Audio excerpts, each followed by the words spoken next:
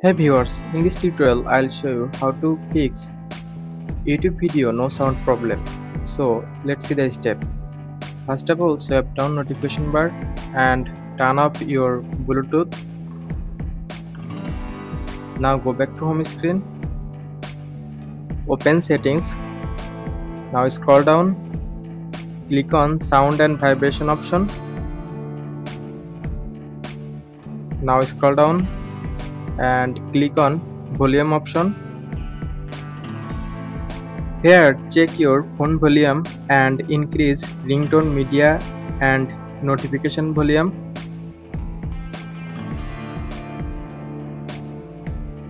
Now go back to home screen. Normally restart your phone. Just normally restart your phone after this step if your problem not resolved then follow second step.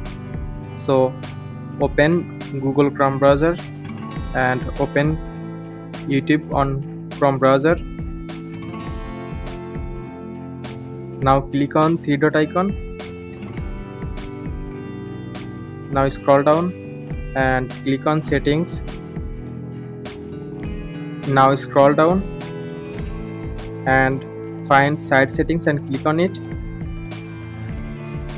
Now scroll down and find sound option. Just click on it.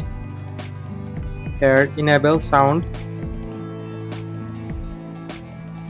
And go back and scroll down.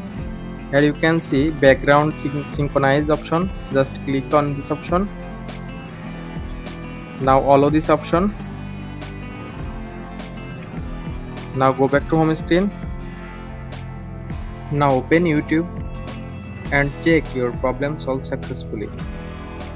So thanks for watching. Don't forget to like comment and subscribe